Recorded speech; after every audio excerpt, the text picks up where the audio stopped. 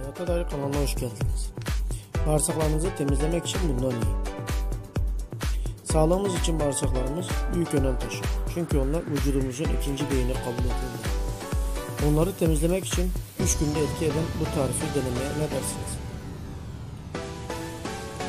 Yanlış ve kontrolsüz beslenme kötü alışkanlıklar beraberinde sindirim sıkıntılarını doğurur. Bu sıkıntıların nedeni ise çoğu zaman bağırsakta toksin birikmesidir. Bu toksinlere sebep olan konular sadece beslenme ve alışkanlıklar değil, aynı zamanda stres, sinir ve gerginliktir. Bu gibi ruhsal ve beslenme problemlerine neden olduğu toksinleri vücuttan atmak için 3 gün yeter. Toksinlerden arındırıcı kür için gerekli malzemeler. 1 çorba kaşığı organik elma sirkesi, 2 çorba kaşığı limon suyu hazırlarından kullanmayın. 1 yemek kaşığı toz zencefil, 1 yemek kaşığı deniz tuzu, 1 bardak su.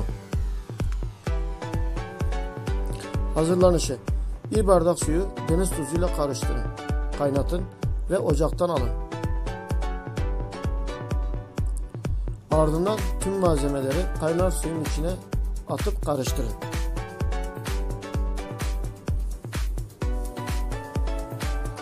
İyice karıştırdıktan sonra soğumasını bekleyin ve cam kavanoza saklayın.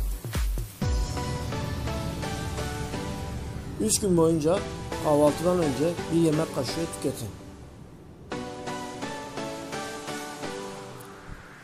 Herhangi bir sağlık probleminiz varsa içmeden önce doktorunuza mutlaka danışın. Bugünkü videomuz bu kadar. Hoşçakalın.